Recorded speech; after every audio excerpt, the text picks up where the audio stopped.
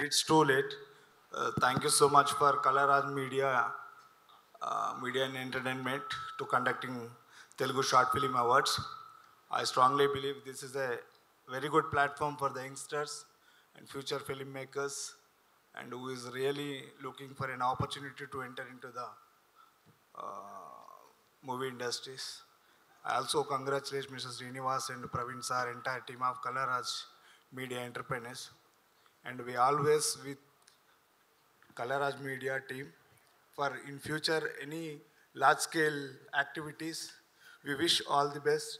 Entire team of this Kalaraj Media. I strongly believe that upcoming days they're going to be biggest uh, landmark for the startups. Thank you so much.